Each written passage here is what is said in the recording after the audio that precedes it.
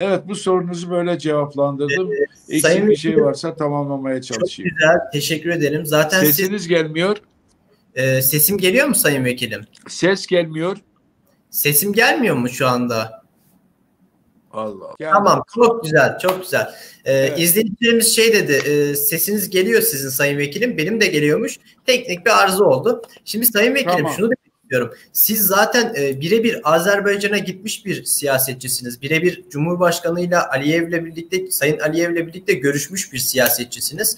E, bu konuya istinaden son olarak kısaca şunu sormak istiyorum. E, Sayın e, Azerbaycan Cumhurbaşkanı e, Aliyev'in işte ileriye dönük Ermenistan'ın tekrar tehdit olabileceğini dile getirdi mi hiç? Veya da buna yönelik bir önlem almış durumda mı? Bundan da kısaca bahsederseniz çok sevinirim. Tabii şimdi şöyle ifade edeyim seyircilerimizi de aydınlatmak bakımından bir kere şunu bütün dünya gördü.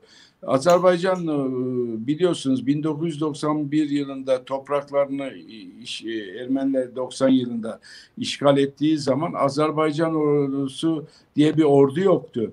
Azar biliyorsunuz Sovyetler Birliği zamanında Azerbaycan Türklerini hiçbir zaman önemli görevlere vermişler, vermemişler. Silah e, yani askerlik konusunda da e, onlara belki Ermenilere gösterdikleri e, şeyi göstermemişler. E, nasıl söyleyeyim? Hoşgörüyü.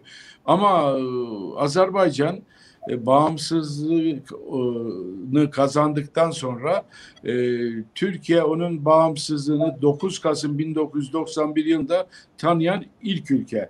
O tarihten sonra Türkiye ile Azerbaycan arasında e, son derece önemli e, anlaşmalar yapıldı.